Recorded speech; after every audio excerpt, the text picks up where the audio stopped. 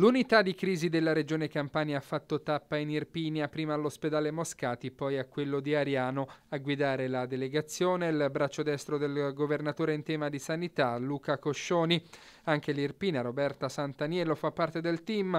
All'ospedale di Avellino l'attenzione è stata rivolta per lo più all'allestimento della palazzina Alpi, stanze pronte all'uso, i letti ci sono, tutti e 52, mancano ancora i macchinari.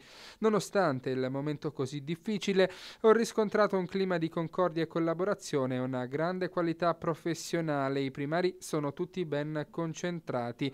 Così ha sottolineato il lavoro del manager Pizzuti la delegazione. Coscioni e gli altri si sono poi spostati ad Ariano, dove ieri 16 direttori hanno contestato le strategie sin qui adottate, chiedendo risposte a De Luca e ai consiglieri regionali irpini.